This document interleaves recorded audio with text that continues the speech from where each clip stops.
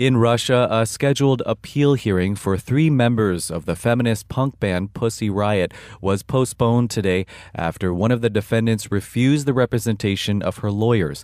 The move was unexpected, and the reasons for the refusal are unclear. Out in the streets, supporters gathered for a global day of action in support of the band members who were sentenced in August to two years in jail. The Pussy Riot case is leading to legal efforts to further restrict social freedoms in Russia in an effort some call dangerous. FSRN's Ekaterina Danilova reports. Dozens of activists gathered in St. Petersburg to call for the release of the three band members from jail.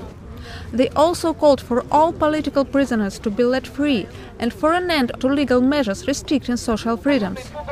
Pavel is a member of the anarcho-communist group Autonomous Movement. We came here today to say no to all this tyranny of the police that is happening in our country, to say no to all these false charges, huge amounts of which are brought in our country, all the false evidence of policemen and judges who are bribed. Pussy Riot's imprisonment for performing an anti-Putin song in a Moscow cathedral in February has spurred sympathetic political actions against the Orthodox Church. For example, a feminist group cut down a cross outside a church in Kiev. This in turn has sparked legislation criminalizing criticism of the church, which was just introduced in the parliament. If passed, the law would create a penalty of up to three years in prison for insulting believers' feelings. Olga Kurnosova is an opposition leader who opposes the measure.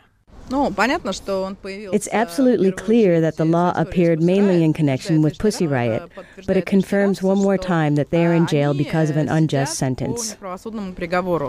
Vyacheslav Plakhatnyuk is a political lawyer. He says that such a law would be harmful and could start a process of religious radicalization. I think that this type of legislative development is harmful because we will orient our society to search for manifestations of anti religious behavior. On the whole, I think this additional restriction of human rights is absolutely unnecessary. The legislation criminalizing criticism of religious persons will be discussed in Parliament this fall. The Pussy Riot appeal hearing is set to continue next week. Ekaterina Danilova, FSRN, Russia.